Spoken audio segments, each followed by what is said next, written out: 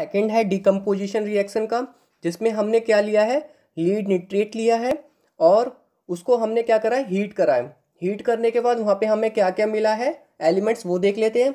सबसे पहला एलिमेंट हमें क्या मिला है? लीड मोनोक्साइड सेकंड हमारा नाइट्रोजन डाइऑक्साइड थर्ड हमारा क्या है? ऑक्सीजन लीड नाइट्रेट हमारा क्या होता है? कलरलेस और कलरलेस पार्टी कलरलेस पाउडर होता है। यहाँ पे दिख रहा है आपको लीड नाइट्रेट्स ये क्या है हमारा? कलरलेस पाउडर है।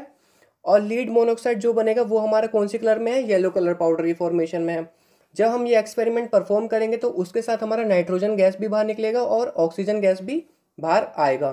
तो ये जो है हमने एक्सपेरिमेंट परफॉर्म किया है। देख लेते हैं इस एक्सपेरिमेंट में हमने क्या किया है। तो ये सेम कंडीशन है, हमने बर्निंग बॉइलिंग टेस्ट ट्यूब में हमने क्या डाला है? लीड निट्रेट डाला है। कितना डाला है? दो ग्राम। फिर इसको बर्नर से हीट कर ही रहे हैं। उसके बाद जब हम इसको हीट करेंगे, थोड़ी देर बाद इसमें क्या होगा? गैस बाहर निकलना चालू हो जाएगी। तो गैस कौन सी निकलेगी? नाइट्रोजन डाइऑक्साइड की। कैसे निकलेगी? ब्राउन फ्यूम्स में मतलब भूरे कलर में इसका क्या होगा? धुआँ निकलेगा। ब्राउन फ्यूम्स में इसका धुआँ निकलता रहेगा। उसके बाद क्या होगा? उसके बाद जब ये सारा मतलब यहाँ पे नाइट्रोजन गैस की फॉर्मेशन हो गई, थोड़ी देर हम इसको ऐसे रखेंगे। उसके बाद जब हम इसको बाहर निकालेंगे तो वहाँ पे हमारा लीड मोनोक्साइड बनेगा, जो किस कलर में होगा? येलो कलर में होगा।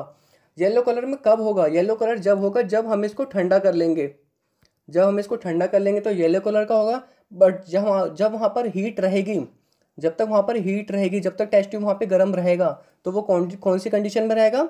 रेडिश ब्राउन में। किसमें रहेगा? रेडिश ब्राउन तो जो यहाँ पे येलो कलर दिख रहा है, ये कोल्ड होने के बाद दिखेगा बट जब तक वहाँ पे हीट प्रेजेंट रहेगी तो वहाँ पे ये कौन से कलर में दिखाएगा? रेडिश ब्राउन में दिखाएगा।